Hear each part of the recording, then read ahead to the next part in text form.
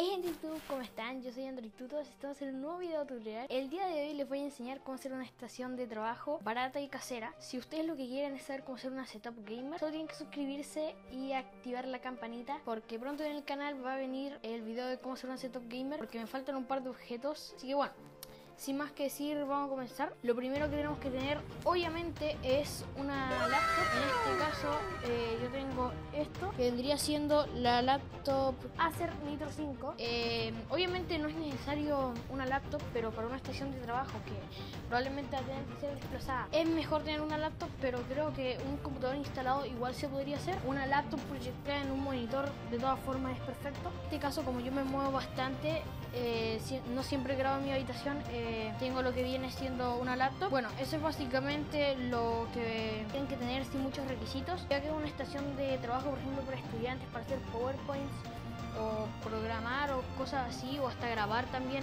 vamos a ver, eh, no, no, tiene muchos requisitos la computadora. Eh, creo que algo que sí es muy importante también tener, un mouse, es mucho más cómodo. Eh, esto creo que todos lo tienen en la casa un mouse, si es un computador viejo o algo, no importa. Por ejemplo, este es un mi laptop es uno de última generación. No sé si enfoca acá el mouse. Ahí, este mouse es de un Compact Windows 7. O sea, esa, esa empresa yo creo que ya que quedó en quiebra.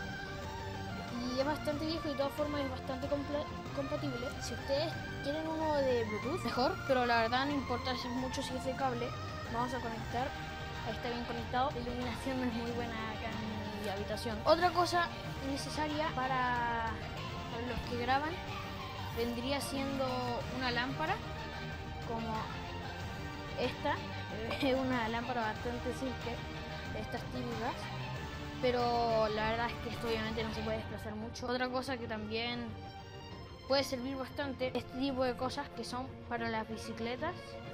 Eh, un amigo no necesitaba y la regaló y ahí se me ocurrió la idea de, tener esto.